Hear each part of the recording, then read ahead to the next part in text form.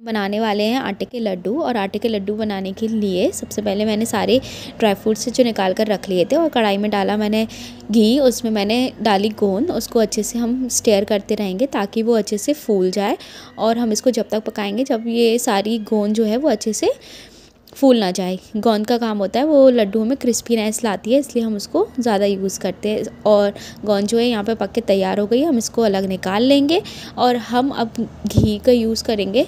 ये हम घी, गाय के घी का यूज़ कर रहे हैं इसमें और हम घी डाल के करेंगे मखाने फ्राई।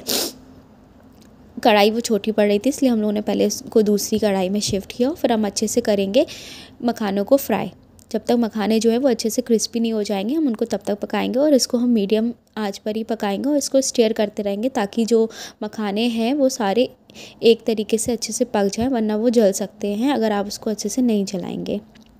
और हम यहाँ पर अपनी सारी मेवा जो है उसको निकाल लेंगे, जैसे काजू, बादाम, पिस्ता। और हम इनको क्या इनको हम जो है, उनको अच्छे से पीस लेंगे। ना ज़्यादा बारीक, ना ज़्यादा मोटे। उनका हम पाउडर में तैयार करेंगे क्योंकि हम उसको तभी तेल में फ्राई करेंगे। उसके बाद हमने जब मखाने निकाल, अपने रोस्ट करके फिर से हम कढ़ाई में तेल डालेंगे और उसमें डालेंगे अपनी गरी और चुहारे और उनको भी अच्छे से फ्राई करेंगे। ताकि वो भी अच्छे से रोस्ट हो जाए और हम जो ड्राई फ्रूट्स हैं, हम उनको मीडियम से लो फ्लेम के बीच में ही रोस्ट कर रहे हैं ताकि वो जले ना। हाँ अगर हम हाई फ्लेम कर देंगे तो वो जल जाएँगे।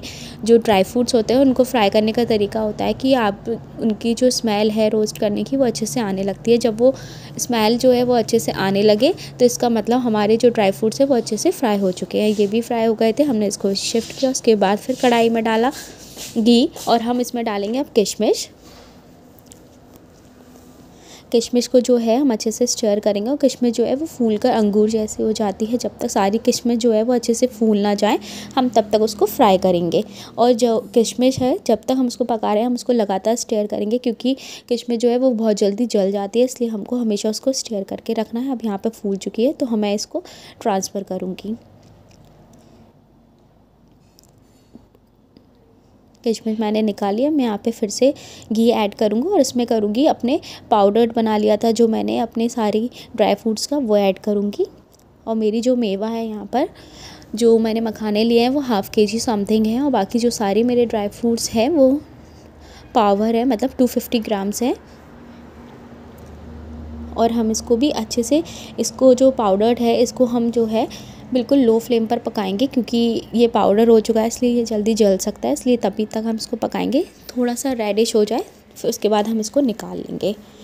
अब हम करेंगे आटे की बुनाई और जो मेवा है ये हम लोगों ने लिए है, इसके लिए हम लोग दो किलो आटा भूजेंगे। इसमें हम आटे में जो है अच्छे से घी मिलाएँगे और इसको बहुत अच्छे से पकाएँगे जब तक आटा जो है वो अच्छे से ब्राउनिश कलर का ना हो जाए।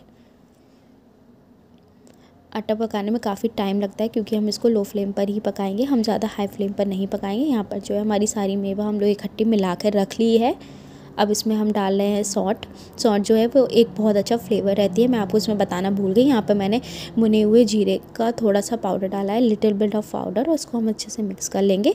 क्योंकि हमारा जो आटा है वो बुनकर तैयार हो रहा है जब तक जब तक हम मेवा अपनी जो है वो अच्छे से मिक्स करके रख लेंगे। आप देख सकते हैं जो मेवा है, वो हमने मिक्स करके रख ली है approx two to two fifty K G होगी हमारी मेवा। अब हमने इसमें मैं आपकी गुड़ की वीडियो दिखाना भूल गई हूँ। अप्रॉक्स वन के जी ऑफ़ गुड़ मिलाया है हमने आटे में और उसको अच्छे से मिला लिया था। अब हम सारी मेवा यहाँ पर हम डाल रहे हैं घी। अगर आप एक से दो किलो के लड्डू बना रहे हैं तो आप उसमें दो किलो तो मेवा डालिएगा, दो किलो आटा एंड आपका वन के जी तो घी लग ही जाएगा। अगर आप घी कम डालते हैं तो आपके लड्डू अच्छे से नहीं बनेंगे, इसलिए मैं, हमारा जो घी है वो डेढ़ के जी यूज़ हुआ है यहाँ पर, क्योंकि मुझे घी ज़्यादा पसंद है, इसलिए मैंने घी थोड़ा ज़्यादा डाल दिया। बाकी आप अपने हिसाब से डाल सकते हैं, जितना आप लड्डू अच्छे से बना सकें। और आटे के लड्डू बनाने के लिए आपको जो घी है वो गर्म ही डालना पड़ेगा और गर्म गर्म में ही आटे के लड्डू बनाने पड़ेंगे, वरना आप इसको अच्छे से नहीं बना पाएँगे। क्योंकि इनकी बाइंडिंग नहीं होती है। अब यहाँ पर हम लड्डू बना रहे हैं और मैं भी ट्राई कर रही हूँ साथ साथ बनाने का। और जो कि मुझसे ये नहीं बन रहे हैं। बट एटलीस्ट मैं लास्ट में सीख गई हूँ। मैंने भी रोटी बना, मैंने भी बना ही लिए हैं लड्डू। यहाँ पे मेरी सिस्टर जो है वो मुझे लड्डू बनाना सिखा रही है कि कैसे बनाने और हमारे लड्डू बन के तैयार होने लगे। और ये लड्डू मेरे बन के तैयार हैं। ये सिक्सटी टू सेवेंटी लड्डू बने हैं इसमें।